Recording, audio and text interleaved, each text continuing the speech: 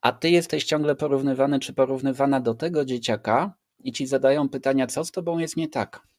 Nikt nie wpada na to, że ty masz ADHD. Zaczynam o czymś myśleć i właściwie w połowie myślę, ja już myślę o czymś innym. Ja nie wiem, dlaczego o tym myślę jednocześnie e, z tej natruchliwości nie mogę przestać myśleć, ale z tego rozkojarzenia nie wiem w ogóle o czym myślałem i nagle wiesz, całe życie jest przytłaczające.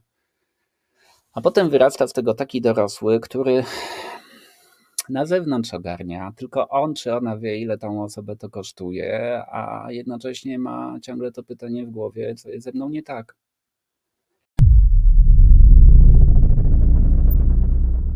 Gdzie można stwierdzić, że ktoś faktycznie ma to ADHD? Czy może to ADHD też ma jakiś spektrum, na którym y, możemy umieścić jedną czy drugą osobę?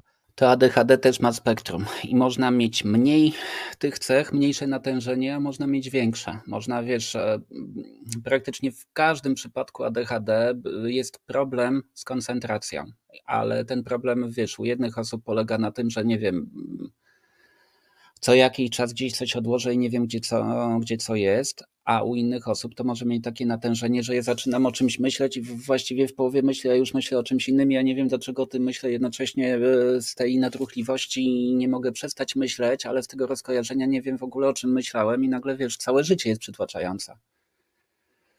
I teraz zobacz, jak e, mamy to wiesz, e, to natężenie różnych cech ADHD, te osoby, które są bardziej przesunięte w stronę skrajną, to po prostu po nich będzie widać, że one są albo, wiesz, nie mogą w ogóle wytrzymać, nie mogą się w ogóle, wiesz, jakoś tak osadzić w rzeczywistości, bo ciągle ich nosi. Są osoby, które, wiesz, co chwilę się gubią, e, odklejają, e, tracą wątek i te osoby szybko zostaną zauważane, wyłapane, zwykle już na poziomie edukacji szkolnej i dostaną diagnozę.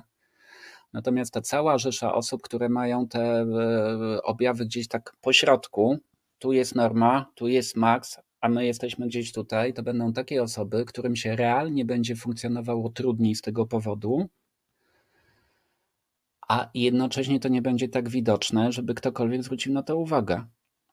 Wiesz, jesteś dzieciakiem neurotypowym, jesteś dzieciakiem z ADHD, które, które to dziecko ma natężenie tych objawów tak, tak troszkę pośrodku skali, jesteś dzieciakiem, który ma e, to natężenie bardzo duże. Ciebie wyłapią, ty nie potrzebujesz wyłapania, a ty jesteś ciągle porównywany czy porównywana do tego dzieciaka i ci zadają pytania, co z tobą jest nie tak. Nikt nie wpada na to, że ty masz ADHD, nikt nie wpada na to, że tobie jest realnie trudniej. Mają oczekiwania, że będziesz performował, mówiąc brzydko, tak samo jak tamta osoba, jednocześnie co chwilę dostajesz negatywny komunikat.